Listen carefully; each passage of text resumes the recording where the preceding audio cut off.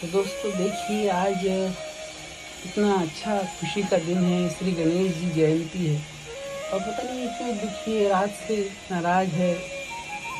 Sad सा चेहरा बना के रो रही है।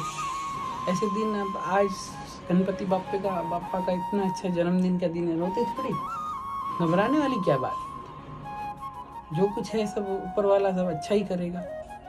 हर अंधेरे के बाद उजाला तो आता ही है।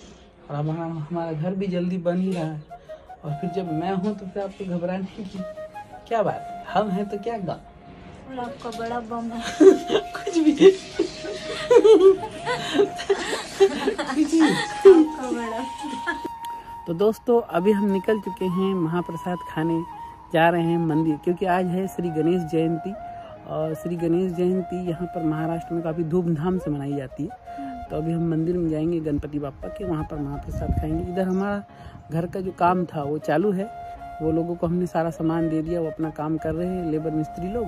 और अभी हमने सोचा चलो अभी एक डेढ़ बजा है ये टाइम श्री गणेश जी के सुबह दर्शन एक बार किए एक बार और दर्शन भी कर लेंगे।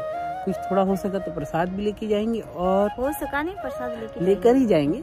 और वहाँ पर महाप्रसाद चालू रहेगा तो वो भी हम थोड़ा सा ग्रहण कर लेंगे। यानी कि जहाँ भी मंदिर रहे, महाप्रसाद चालू रहे तो ज़रूर थोड़ा ना थोड़ा खा लेना चाहिए। तो मंदिर में हम महाप्रसाद भी खा लेंगे। तो चलिए कंटिन्यू रहिए।